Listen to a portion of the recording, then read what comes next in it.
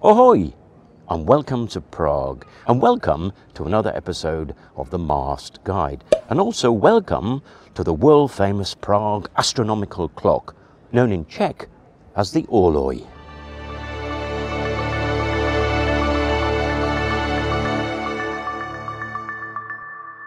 In this episode, we're going to look at some stories associated with the clock, the history of the clock, and how the look of the clock has changed over the centuries. And in the next episode, we're going to look at how to read the astronomical clock. And by the end of that episode, you should be able to look at a picture, any picture of the astronomical clock, and from that determine the day it was taken, the month it was taken, the time the photograph was taken, how many hours of daylight are left in a day, and the approximate sunset for that time of day. So, already people are beginning to gather here, so let's get on with it, shall we? And this is what they've come to see.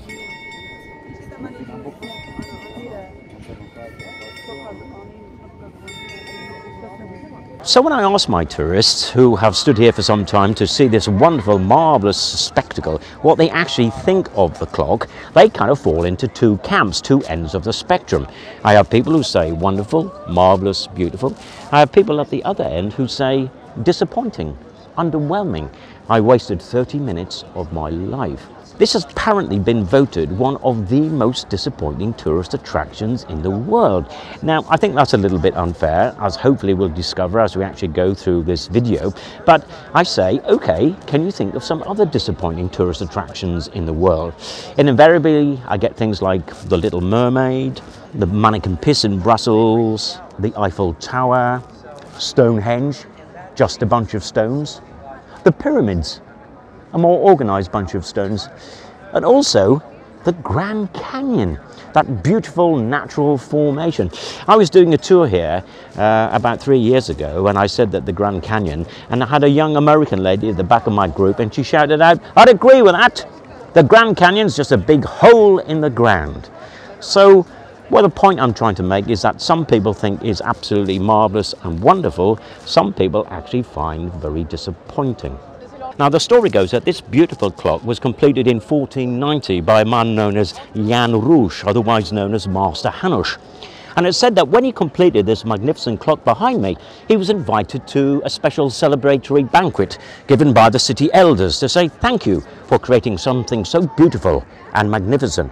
Now, he was very much enjoying himself. The food was good, the drink was good, but as the evening went on, he noticed that the city elders who had invited him were leaving the room one by one, till eventually he was all alone. Suddenly, the door burst open and in came two men, one with a red hot poker, the other with a large knife. They tied him to a chair, they stabbed out his eyes, and they cut out his tongue. Phew! That's gratitude for you, isn't it? Ouch! Now, I asked my tourists why do you think they did that? And sometimes they say, is it because he complained about the soup? No. The reason being, it said, was the city elders wanted to make sure that this was the only example of this clock in the world and nowhere else. But Jan was going to get his revenge because a few days later, when he was feeling a little bit better, he managed to get into the door behind me which leads up to the clock mechanism. Now security wasn't a difficult in those days, there was no voice or iris recognition. He knew where the clock mechanism was, he felt for the clock mechanism, bit of blind acting going on here, and he knew that in front of the mechanism was a little raised area. And it said he went back as far as he could and he ran towards the clock, and when he got the raised area, he launched himself into the clock, killing himself and damaging the clock so badly that it didn't work for another 150 years. Great story, but it's only a legend. Now, the Prague astronomical clock is one of the oldest clocks in the world with a miraculously preserved clock mechanism, and that's only because it was lucky. In the 18th century, when they came to do the renovations behind me for the old town hall here, the clock had not worked for some time. And somebody thought it might be a good idea to sell off this rusting, unworking piece of metal for scrap. Luckily, it was saved. But still, things didn't go smoothly. Uh, the clock was only rarely wound up and only run on some days, such as Saints' Days. As this contemporary picture from 1856 shows, by the middle of the 19th century, the clock was in a very sorry state and needed to be repaired.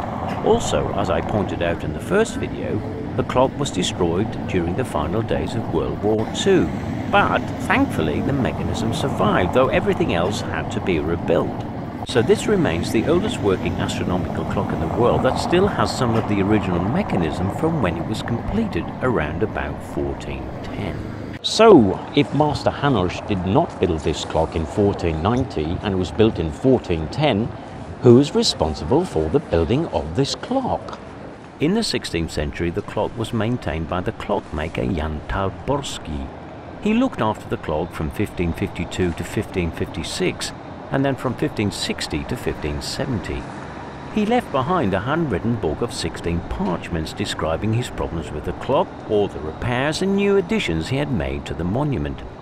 It is thought that Táborský might be responsible for the myth I told you previously about Master Hanush, otherwise known as Jan Rouge, and the reason being is that he wanted to accredit the design and the build of the clock to someone.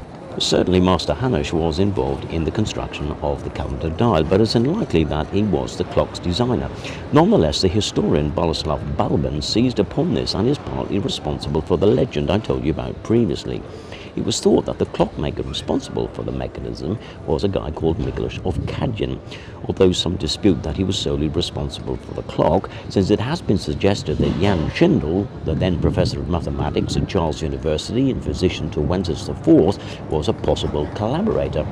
Others think that perhaps Schindel wasn't involved at all, and that as an educated, skilled man, Mikuláš was capable of doing it alone.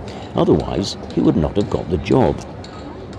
Nonetheless, the evidence shows very clearly that Miklos Kadaň was indeed the clockmaker responsible for the building of this beautiful and magnificent astronomical clock. And for his work, he was paid very handsomely. He received a house, he received a very generous lump sum, and also an annual stipend for the rest of his life. As you can see, there were a number of changes and additions to the clock over the centuries. The skeleton, or death, was the first of the moving figures to be added to the clock, probably in the 15th century, and possibly by Master Hanush. In Czech, the skeleton is known as the Klapáček, which means clatter or chatter, because his jawbones clattered, although today that too has been replaced. Then there was the change to the zodiac circle. The original zodiac circle showed the animal signs of the zodiac and was replaced with a wheel only showing the signs of the zodiac, as well as 72 divisions of the wheel, which helped to identify the day and the month. And finally, the golden cockerel was added in 1882, and it signifies the end of the walk of the apostles. And speaking of the apostles, when you see the clock running on the hour, the apostles will appear presented to you from two different windows. Six disciples on one side, six disciples on the other. It is thought that the apostles were added to the clock sometime between 1680 and 1733, following the ascension to the throne of the Habsburg King Charles VI, and as a way to reaffirm Catholicism as the country's one and only true religion. Some of the apostles seem to have disappeared by the middle of the 19th century, but were restored during the repairs of 1864 to 1865 and then completely replaced by the sculptor Vojtěch Sucharda, who we're going to come back to later, after the almost complete destruction of the clock in 1945. The statues were dressed in oriental clothes and not in the style of the clothes of the time, so as not to be considered as some kind of satirical comment on the leaders of the time. The statues, both moving and stationary, have been added to, changed, and their meaning changed too. In the top row are the sins today vanity, greed, and hedonism, lust or pleasure, if you will. And in the bottom row, the figures represent good, opposite virtues like a scribe, an astronomer, and a chronicler. Hmm. More like occupations rather than virtues. And this is thanks to the work of Vojtěch Sucharda, he was a sculptor and a maker of puppets. He made some changes to the statues in 1911, but after the major reconstruction in 1945, he went to town. And in 1966, he made even further changes. So originally, pride, greed, and envy became vanity, greed, and hedonism.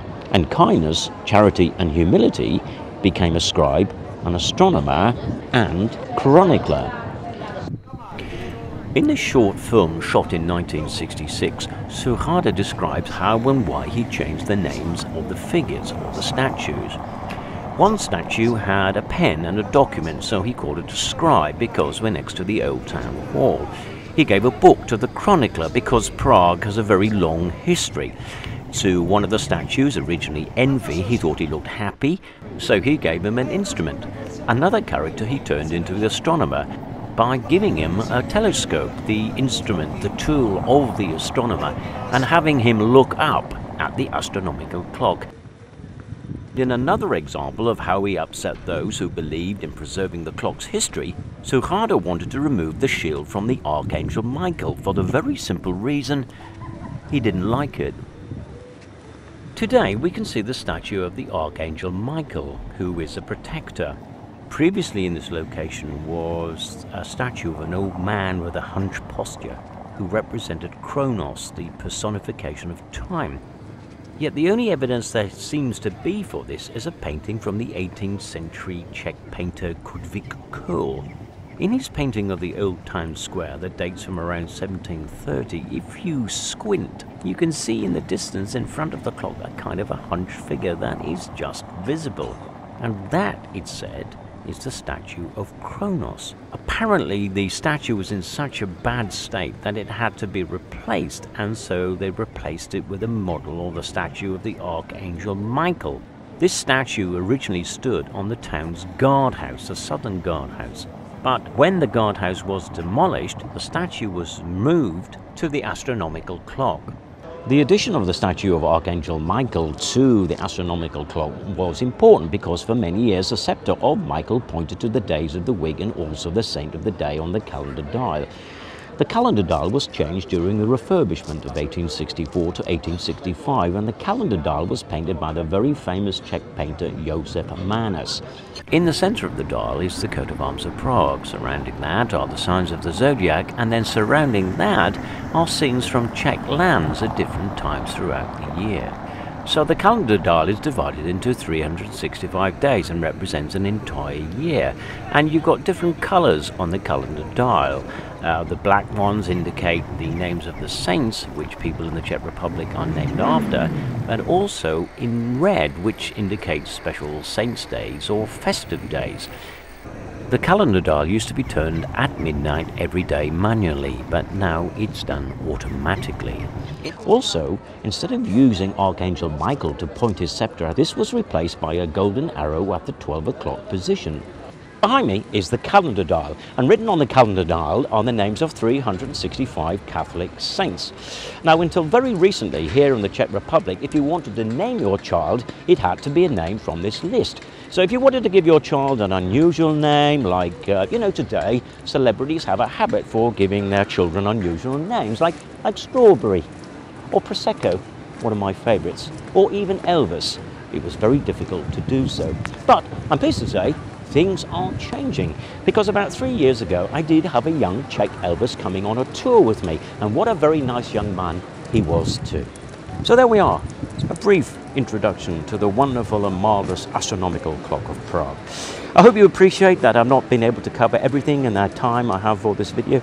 And if you are interested and want to find out more you can look at the links and the references in the description below. And if you have enjoyed coming around with me on this episode, then please don't forget to subscribe by clicking the subscribe button and pressing the little bell for notifications. So, on to the next episode, how to read the astronomical clock.